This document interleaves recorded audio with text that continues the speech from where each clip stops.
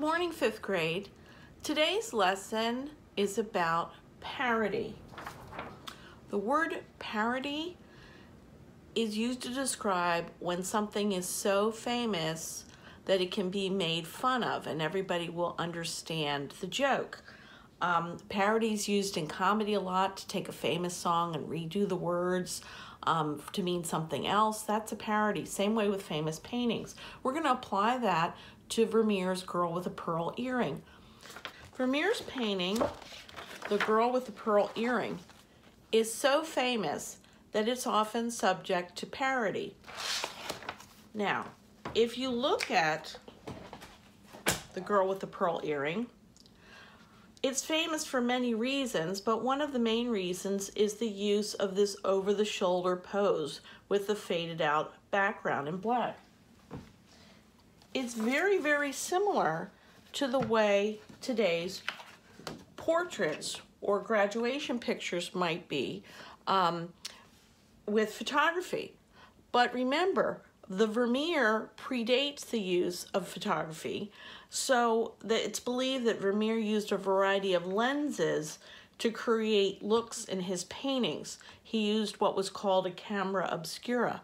So he kind of is uh, looking ahead at what we would later see in photography. So you can see how the poses are very similar to be able to uh, blacken out the background and do a, a twist of the head to create the pose. Now, we're going to do a project where we're going to be drawing Girl with Pearl Earring very simply.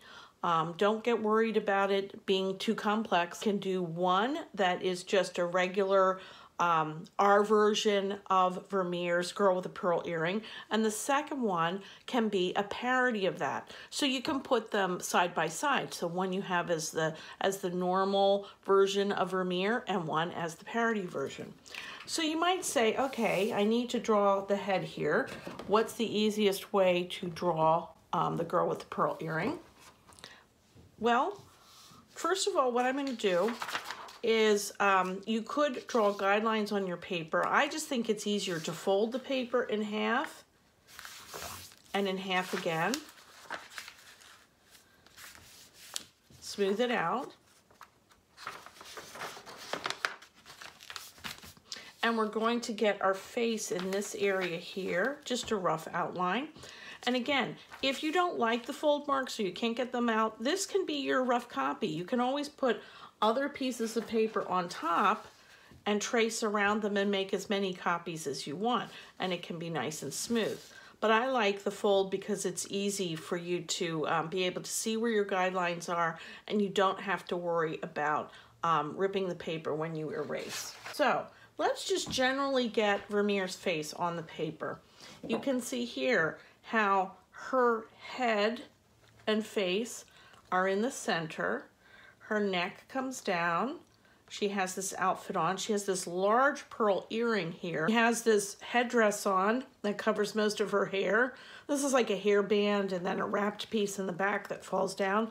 A girl wearing this type of headdress would imply that she wasn't very wealthy, um, that she might be um, a servant or a maid or somebody that would um, have to work. Whereas somebody who had a very large, very expensive pearl earring would be somebody that would be the upper class that wouldn't have to work. And so this is this is a dichotomy uh, between this uh, this picture in general. It's just like if you were wearing your gym suit and you had diamond necklace on, you could see it's it sort of uh, doesn't fit. So we're going to do a quick drawing of the girl with the pearl earring. Um, so the best thing to do is from the center here, Let's just put two fingers from the center. Let's make a mark. Let's go three fingers from the edge here. Okay. Um, let's make a little mark here in the middle, more or less. Let's make three fingers down from the top so we don't go off the paper. And let's make um, three, three fingers from the bottom. Now, this just helps to center your picture. I'm your girl with a pearl earring. So I'm just gonna do a rough oval here. And you can see that if I take my pencil and go through this mark here, go down through this mark here, go down through here, this mark here, come up to this mark here, you can see that I'm now starting to get the face and I'm starting to get the headdress. Okay, girl with the pearl earring comes up like this. Okay. Just draw it lightly with pencil.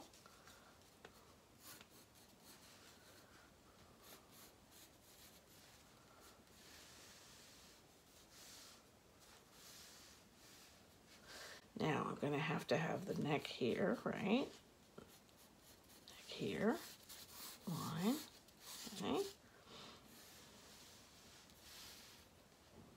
It's got to be an ear here to be able to put a pearl earring.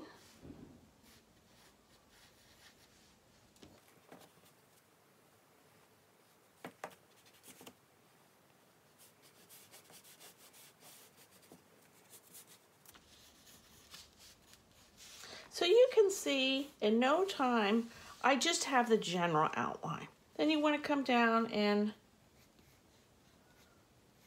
nose,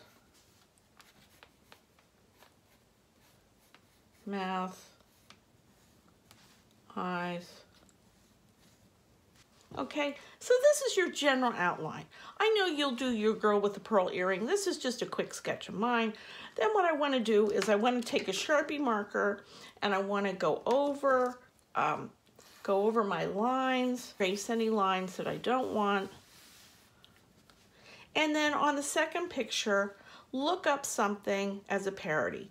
So I'll take this picture, I'll outline it with a Sharpie marker, I'll take another piece of paper, put it on top, outline it again so I have two Vermeers, two copies of Vermeer, and then I'll decide what I want to do as a parody. You just have to look up um, look up uh, parody, girl with pearl earring, and you'll find lots of different ideas, or you can have your own. There's lots of funny things going around um, that you can add. I've seen her uh, parodies where they've put eyeglasses on them. When we did the uh, Vermeer picture, she could be blowing bubble gum. She could do, be doing any number of different things.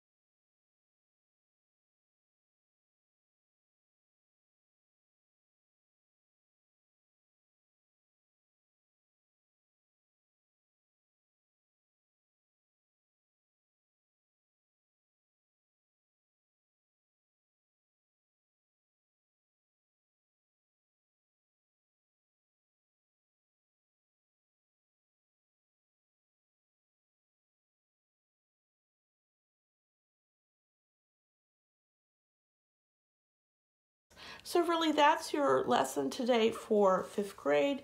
Enjoy your picture and enjoy drawing the girl with the pearl earring. Bye.